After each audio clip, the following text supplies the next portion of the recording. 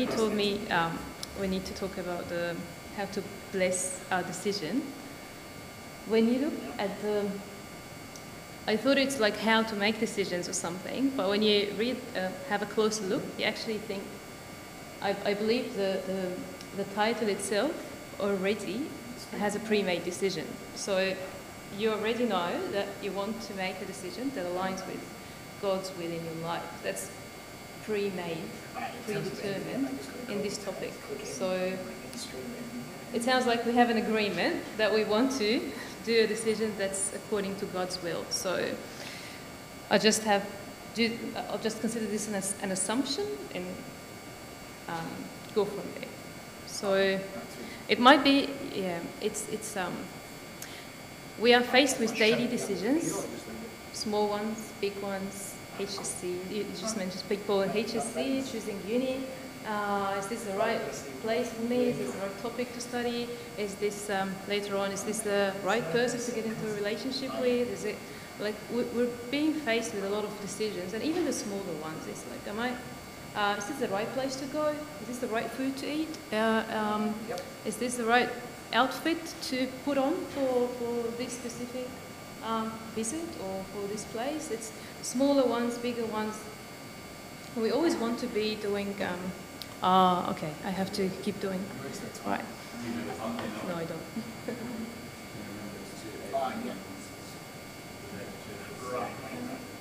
oh, nice to know. To know. okay. Um, so think about. We have two ways to to think to approach. First one is like think about.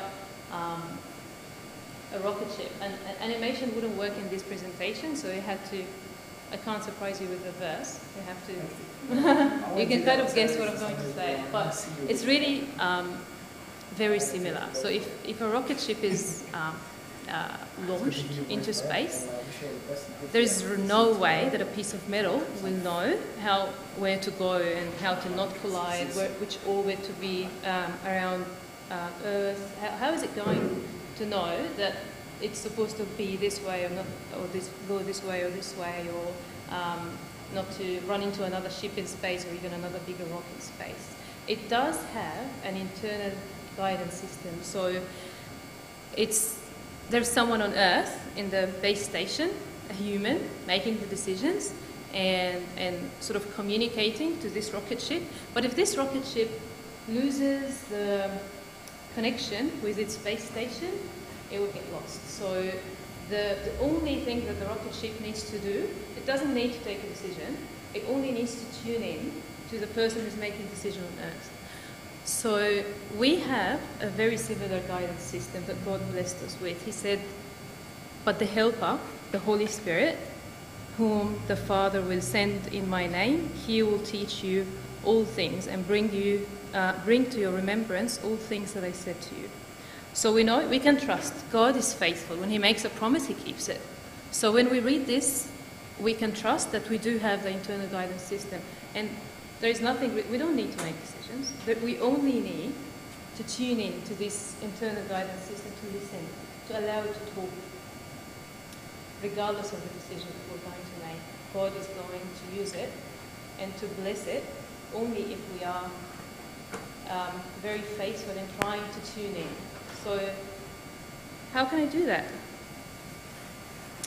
We have recently studied um, the Epistle of St. James in the, uh, with the kids in the Bible study. Um, and imagine it's, um, it's, uh, it's only five, uh, five chapters. I encourage you to read it. It's full of very, very uh, practical and amazing teachings on how to just live as a basic Christian.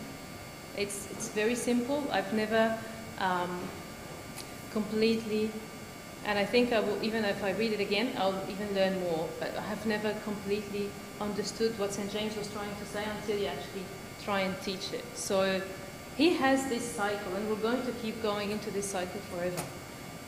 He has four steps. Can someone read? I don't want to be talking all the time. Someone volunteer to read? Can you see? No volunteers?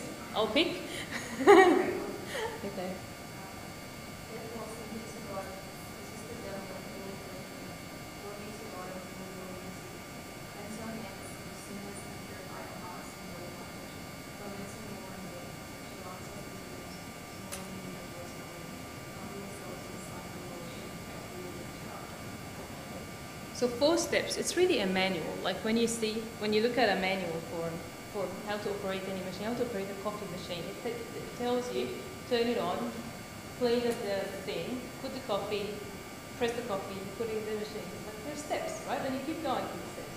It's it's really a manual. So he said four things. He said submit to God. If you choose to submit to God, you want to draw near to Him. And how do I draw near?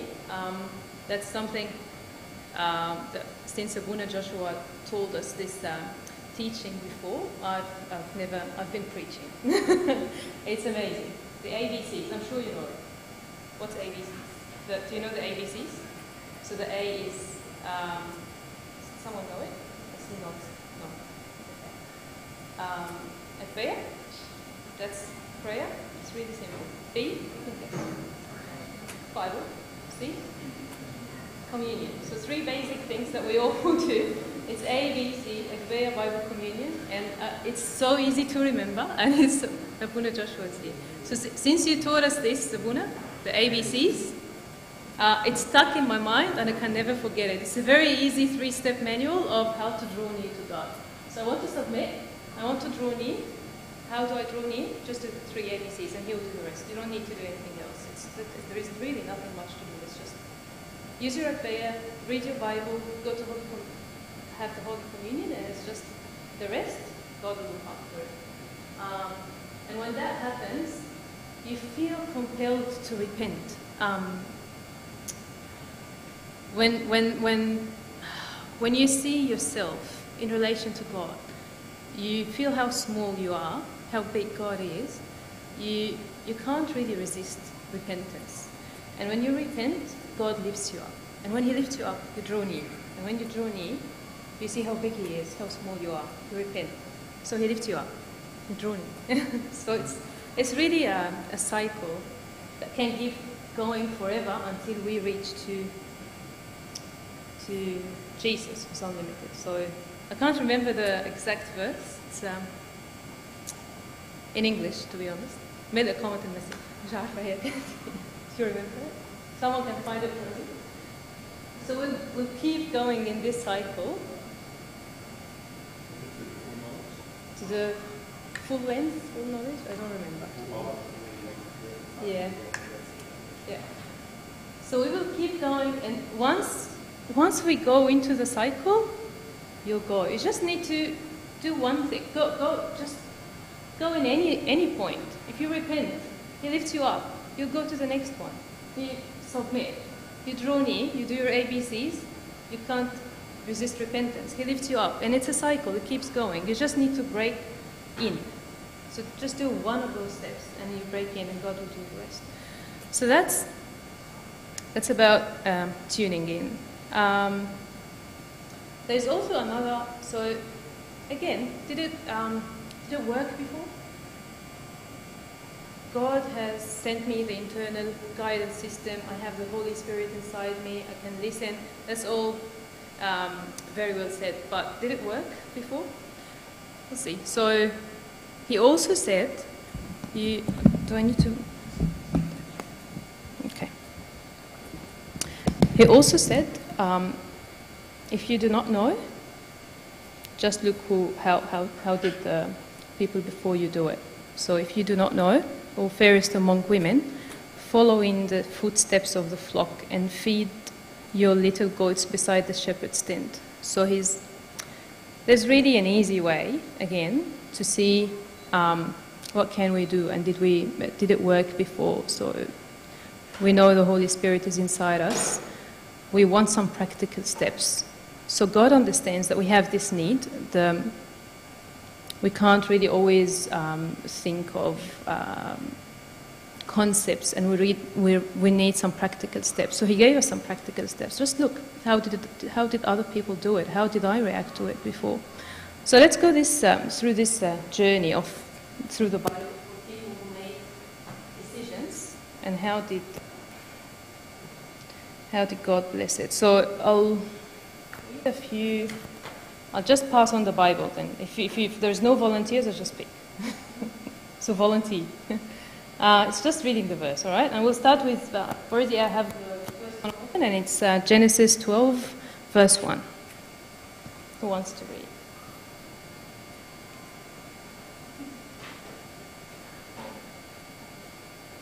Genesis 12, verse 1. Maybe you should um, take this.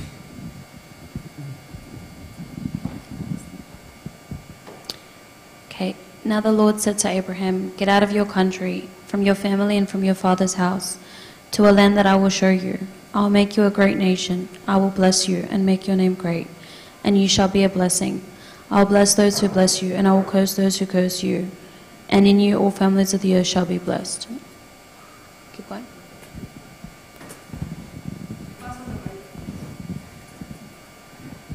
Can you imagine how hard this decision is?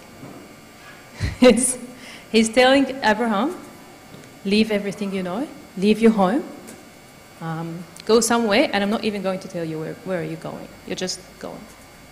You don't need to know where are you going. You just need to trust me. If I was um, were Abraham, I would feel, okay, just tell me where we're going. it's the least. It's the least of my rights. You're asking me to leave everything I, I've, I've lived here for like I think Abraham was like 70 years or something. He was very very old, and um, God is asking him to go, and He's not even telling him where to go. And Abraham could have just said, No, that doesn't make sense. I'm settled here, and I have my family, it doesn't make sense to pack up and go. And so I'll just stay. What would have happened if Abraham um, would have just stayed? We know that after that, Abraham was called the friend of God because of how close he was to God. And I don't think he would have gone anywhere if he didn't listen the first time. But what happens next? There is an even harder decision coming. So if, and I'm, I'm sure you all know the story, but let's just read the verse anyway. Um, it's uh, Genesis 22, verse 2. Verse 2. Genesis 22, verse 2. Then he said, Take now your son, your only son Isaac, whom you love, and go to the land of Moriah, and offer him there as a burnt offering on one of the mountains of which I shall tell you.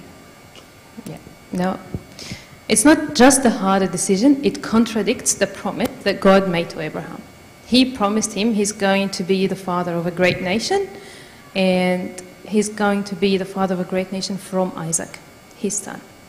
And now he's asking him to kill him. It doesn't make sense at all. It, it makes zero sense. you promised me I'm going to get a lot of sons from this son, Isaac, and now you're, you're asking me to kill him. I don't understand you. It's, it's just not understandable. But again, he had a choice, and it's even harder than the first choice. And the choice that Abraham made was, we all know, he took um, Isaac and he just um, went all the way to the moment that he was going to kill him, but God stopped him, they sent the angel and stopped him and sacrificed the, um, he sent him a sacrifice instead of Isaac. So, but that made Abraham who Abraham is. He, it made him, his faith, a living faith to the, to the, to the extent that there is no other faith in the in any other story in the Bible that can be compared to Abraham. And God Himself and Jesus Himself always refer to Abraham as the ultimate example of faith. That's the result of a choice that didn't make sense at all. I wouldn't kill my son for anything, really. It's, it's really, if you, if you imagine, I have a son, I can't imagine even hurting him. It's, it, it's unbelievable. So I can't imagine what Abraham was thinking all the way up the mountain. Now, how can God ask him something that this, that's this cruel? But it's again, it's trust. He trusted that God um, will work it out. Let's go to the next two examples, and then we'll see. Think, think about the examples because there is a common line between the three of them. We're going to go through three, through three stories, and there's um, two decisions in each of those stories for the same person to make. And at the end of the three stories, um, we need to find a common line. So just start thinking. Um, the second, uh, Daniel chapter 1, verse 8.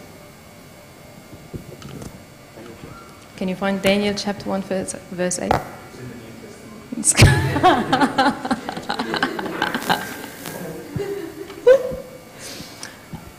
We're teaching the kids um, Bible study how to find a verse in the Bible, and it's yeah. it's three steps. Find the find the um, table of contents. Find the page.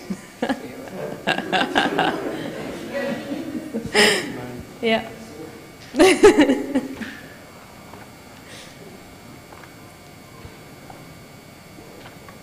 I'm sure we all know the story, but the blessing of reading the actual um, verse from the Bible makes a lot of difference. When you you know the story, just read it and just read the, the exact words again.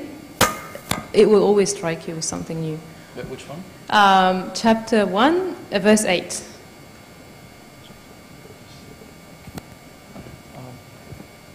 But Daniel proposed in his heart that he would not defile himself with the portion of the king's delicacies, nor with the wine which he drank. Therefore he requested of the chief of the eunuchs, and that he might not defile himself. Now God had brought Daniel into the favor and goodwill of the chiefs of, of the eunuchs, and that the chiefs. I don't know that. Eunuch. Eunuch? Yeah. Yeah. Is that enough? Is that verse, well, is the verse Yeah. done? Verse 8, yeah. Yeah.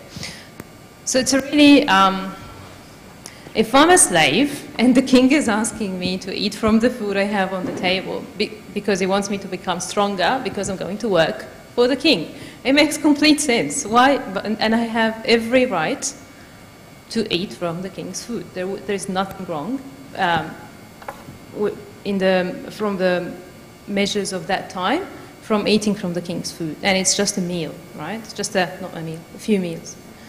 Um, I'm sure God wouldn't have like got angry with Daniel because he was ordered by the king and Daniel is a slave that is going to eat from the king's food. But Daniel had a choice. It's a small choice. He's going to not eat from the king's food, but the, there is a catch. He doesn't know the consequences. If he chose not to eat from the king's food, he might not be as strong as the other slaves, and he might be, I don't know, he might be killed. We, we don't know, we, we will never know. But he didn't know the consequences of his choice. But he realized that he has a choice. He knows that God told them not to eat such and such food from the wine or the food that was offered to the idols. And so he had a choice and he's not going to eat from the king's food. And he, it was a, a firm choice. But then he got faced by another, even harder choice. It's, it's not always, if we make the right choice the first time, it doesn't mean we're going, it's going to be easier the next time. It's going to be harder, actually. So the next time we read um, Daniel 6, verse 10.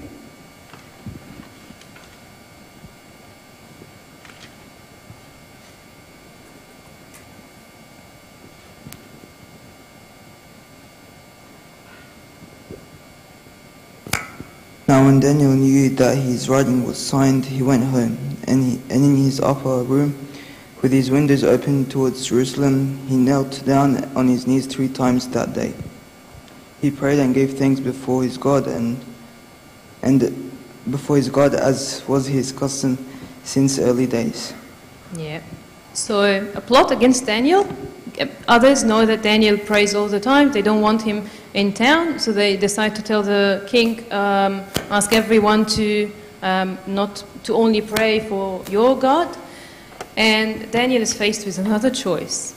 Well, if I were Daniel, I'd just go into my room, close the windows, and still pray. I'm still doing the right thing, okay? So I'm not, I'm not going to stop praying. I'm still going to pray, but there is no need for everyone to see me. I'm going to be caught. I'm going to be. Um, he knows this time the consequences that he might get in trouble, but he's not. Uh, his choice was, um, I'm going to open the window and pray, not once, not twice, three times on this day. It's like he's making a statement. No, I am. A, I am. Um, a worshipper of this God. I'm not going to worship any other God. And I'm happy to declare this in front of everyone. Um, and I, I, I, don't, I don't really care about your, your consequences. So it's a very clear message. It's a very blunt and strong message. But it was a choice. Uh, if Daniel chose to pray with an, a closed window, what would have happened? Nothing really. I don't think ever, anything would have happened. Is no one will know that he's still praying for his God, and that's it. But he chose to pray in front of everyone, and he, he bore the trouble that he went into because of his choice, but he was glorified after that. Third story, because it looks like I'm taking um, a long time.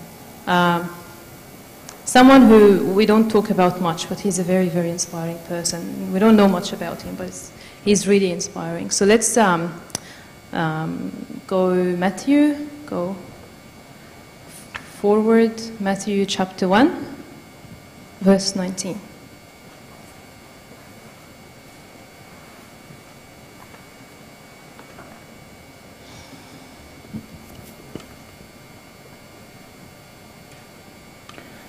Then, jo- then Joseph, her husband, being a just man and not wanting to make her a public example, was minded to put her away secretly. Can you read the next one?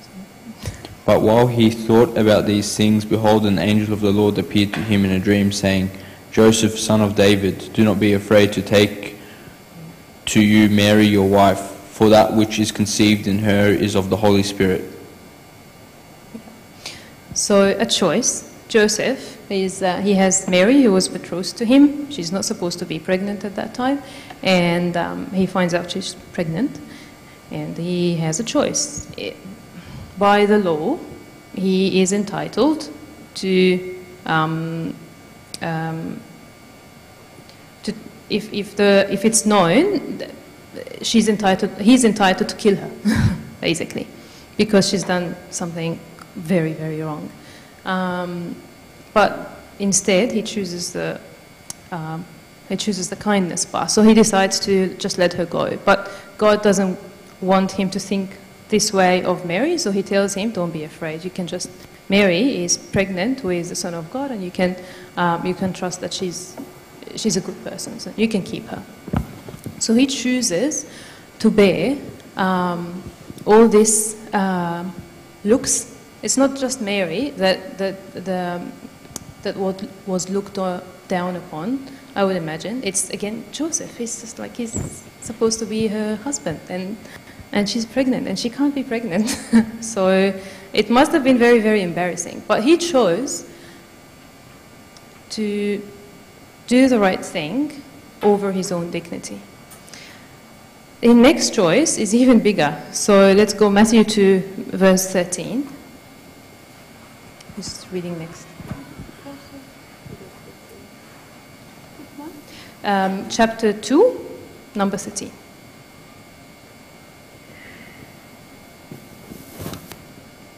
Now, when they had departed, behold, an angel of the Lord appeared to Joseph in a dream, saying, Arise, take the young child and his mother, flee to Egypt, and stay there until I bring, bring you word, for Herod will seek the young child to destroy him. So God is asking him, Jesus is in trouble as a baby, take Mary, Mary and the, uh, and the kid, and just flee to Egypt, and, and just stay there until you can come back. Again, he's leaving. He's a very old man. He's not up to the trip. Mary's pregnant. Uh, sorry, Mary has a baby, and it's um, it's a it's a very difficult trip. He could have said, okay. I looked after her this far. If that's the Son of God, you should be looking after him. He shouldn't be killed, and I can just stay. Why do I have to run away? Again, it's, it's a request that doesn't make sense to Joseph. But he had a choice, and he had a choice. His choice was to listen. So he made the choice to just go away and, and go through the trip and stay there for three years until um, he was told to come back. So the three people that we have spoken about had made two choices, um, and there is a common line between them. Can someone think of anything? What's common?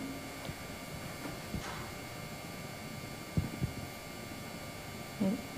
Silence.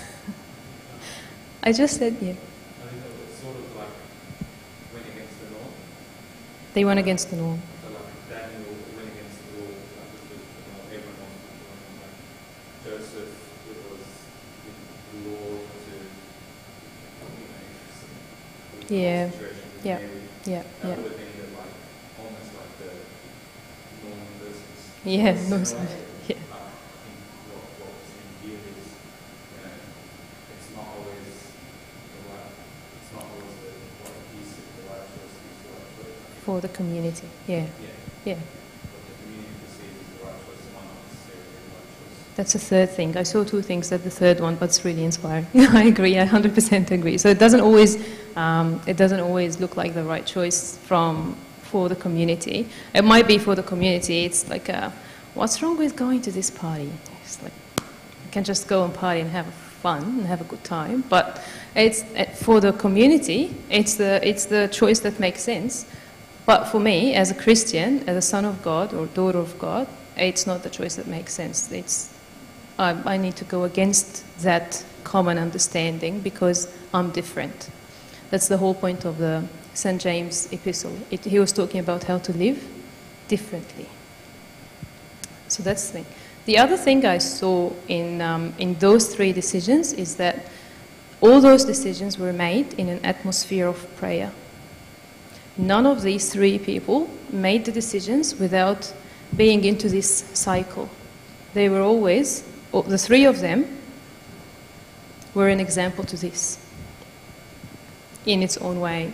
Um, Abraham, because of how uh, close he was to God, he was even called a friend of God. That's what the Bible calls him. It's, he is the friend of God. It's a relation. He, he was always tuned in, he was always in this connection. Um, Daniel, well, the second, the second choice is self explanatory. He chose to pray even though it had um, bad consequences. He could have got killed. It was again an atmosphere of prayer. Um, Joseph, he was um, the righteous man. That's what the Bible teaches us about him, that he was a righteous man. So it's again, he was always tuned in. He always had this connection um, to God to bless whatever decision he has made. That's the first thing I saw. The, the second thing um, I noticed common between those th- three stories is that most of the time they trusted that God is in control, even though they had no idea what's going to happen next. Abraham didn't know how, where is he going and didn't know what's going, how is he going to have a, be a father of great nation from Isaac while God is asking him to kill him. He didn't know, but he had this faith in God that he is in control, he is faithful, and he is going to fulfill his promise. Uh, Daniel, first time,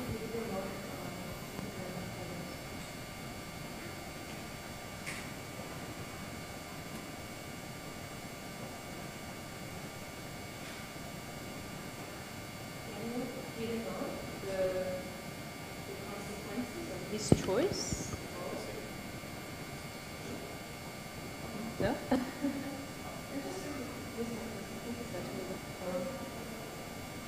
Hello. Works. I didn't know what to say. No, that one is not working. So he had he had no idea what's going. He didn't know that he's going to become stronger. he was he actually became stronger eating only vegetables, which doesn't make sense. But that's again, God can just go in there with his hands and do something completely unexpected, completely unknown, only if you trust him. So we trust that we're going to make the choice that aligns with God's will. How do we know that this is the choice that aligns with God's will? We only need to tune in. You will automatically do this choice. That's going to be automatically your choice. You don't have to think about it. You, all the practical step, the only practical, if we can get away from today with only one takeout, is tune in.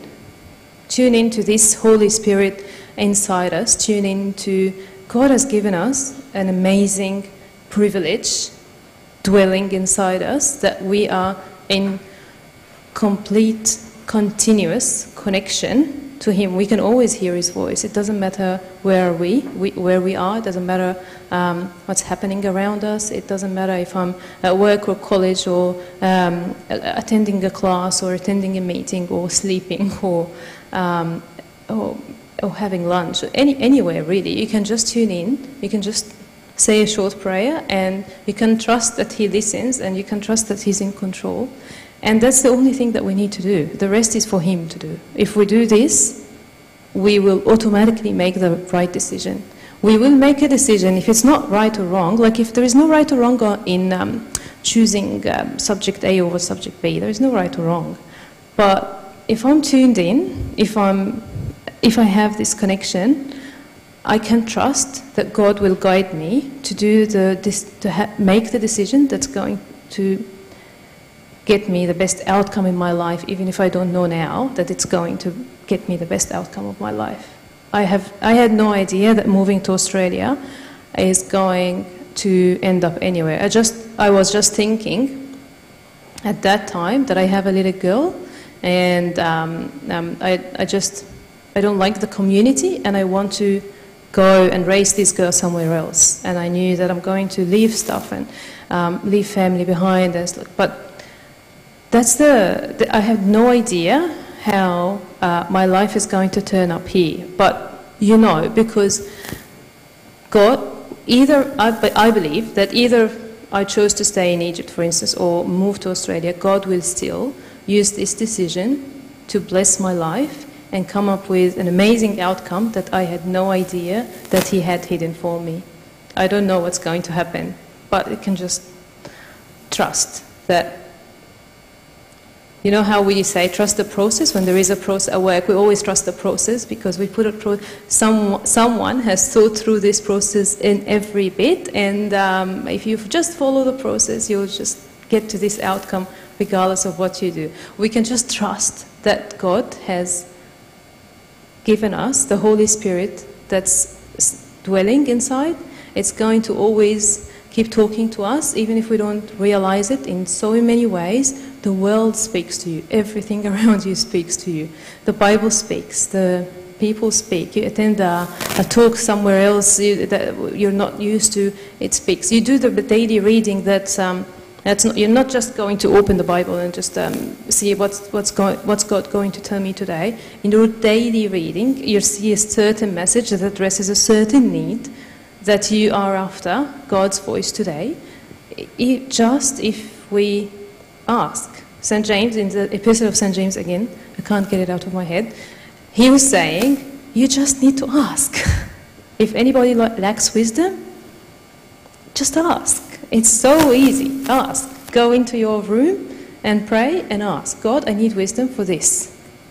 He will give it to you. He's happy to give it liberally and without control and without limits, but we just need to ask. And we need to ask for the right reasons, not for the wrong reasons. God, I want to go to this party. Why? What's the reason that you want to do this? God, I want this car. Why? Why do you need this car? Uh, you can just have this one and it's going to fulfill the same need. But God, I want to know you. Oh, that's, that's, that's according to God's will.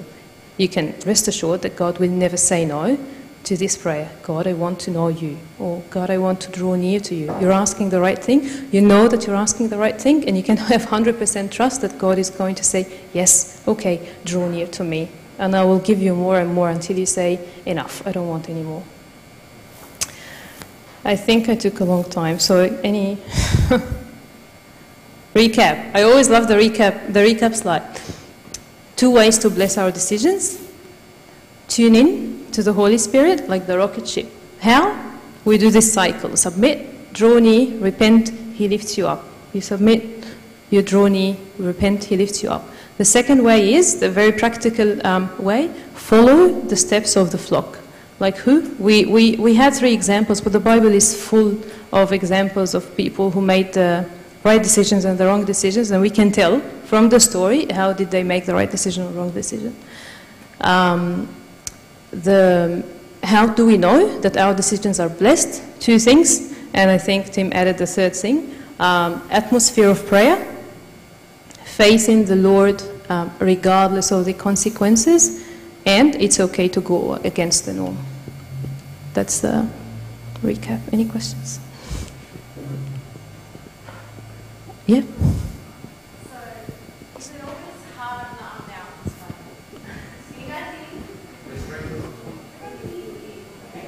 The streaming. I'll repeat the question. So- is it always hard to make godly choices? And it's hard, does it ever get easier? Or is it sometimes, depending on the circumstances? It depends on your definition of hard. Like, you know how you're faced with a decision to make, Hmm. it's either choose you know, what you want Mhm. and then what God wants. Yeah. And then you, see what God wants is always like, ah, Yeah. no, that's hard. It's hard, yeah. Yeah. It's going to be that feeling that, Um, my personal experience, I can't tell for everyone. I can just share my personal experience. I think the more you tune in, the easier it gets. It's not the decision can be harder, but the choice can be easier. So it's it. If we again go back to Abraham, it must have been super hard to decide to just leave and go, pack up and go, and it. it it must have been a very hard decision. I can't even imagine it. Um, but then the second decision, he didn't even think about it. The decision is hard, but the choice that he made, it was easy for him to make his choice, to make up his mind, even though the choice that he made was the harder choice and it was the ah choice. It was, yeah, it's the decision is always going to be hard, but your ability to make the hard decision is going to increase exponentially the more you tune in.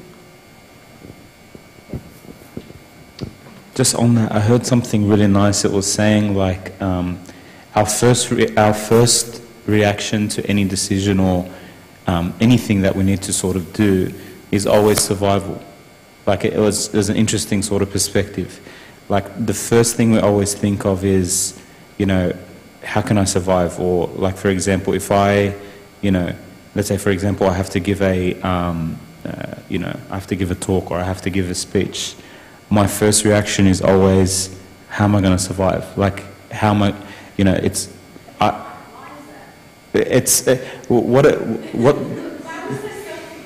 I don't think it's about selfishness. I think it's more about what's the easiest, or what's the easiest thing for me, almost. Like, you know, what, how will I maintain this level of um, comfort, or how, how will I remain in my comfort zone? So, by tuning in or by you know taking two or three seconds to just raise your heart in prayer you're almost shifting your mind from survival to like to no what does god want?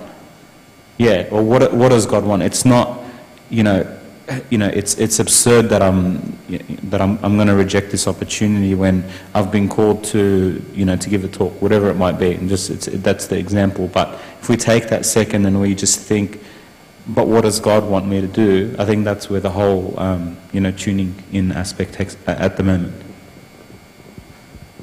Thank you. Any other questions? Discussions, opinions, stories? Nothing. Okay, glory be to God.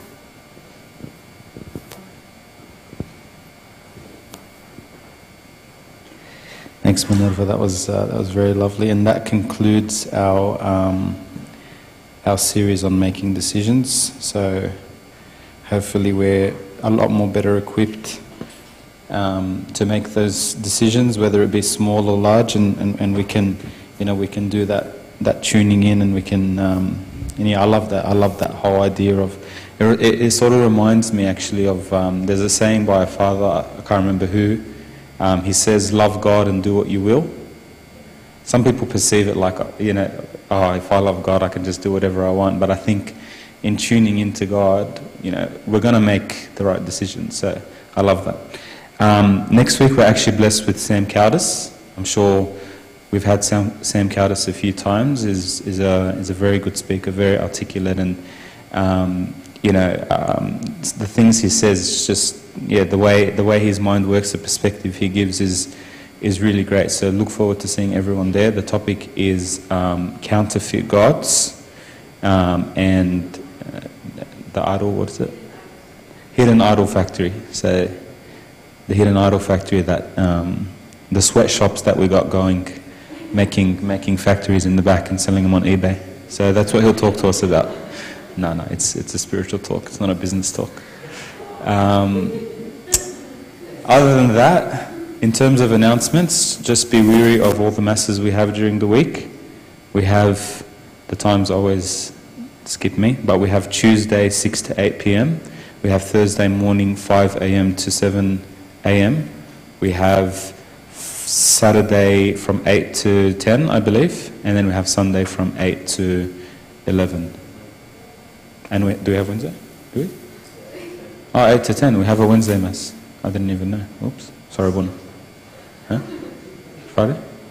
And, and we have um, Masses every 29th of February, every four years, every leap year. So be sure to attend next leap year. Next leap year. Um, other than that, I think we're good. We're good to. Is there any other announcements? We'll just take a quick photo of everyone. Um, if you don't have a mask, just put your mouth on your face. No, all good.